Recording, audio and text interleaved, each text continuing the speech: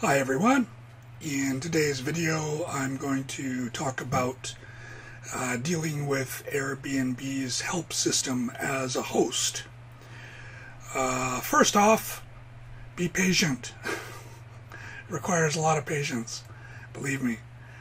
Uh, I've dealt with them a lot over the past six years and um, and they're not so well trained. Sometimes English is a challenge um, they often don't seem to know how things work. So, uh, Airbnb, if you watch my videos, please train your people better. I, I think it's great that you hire people from different countries, but you need to train them, you know.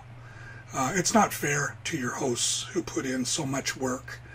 Uh, when we need help, we should be able to get someone who's very competent and knows what's going on um, hosts, you're going to find that the first person you deal with probably can't help you much, and they'll they'll escalate it to another rep.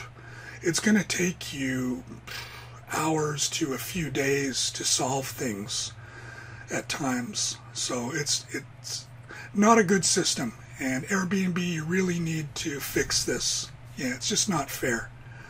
Uh, there are hosts at Facebook saying that super hosts have been asked to be to be uh, working in the help section.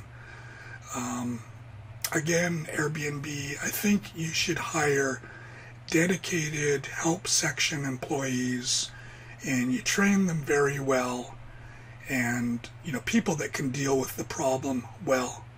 At times, I've actually asked. Um, whoever it was at the other end, are you an AI?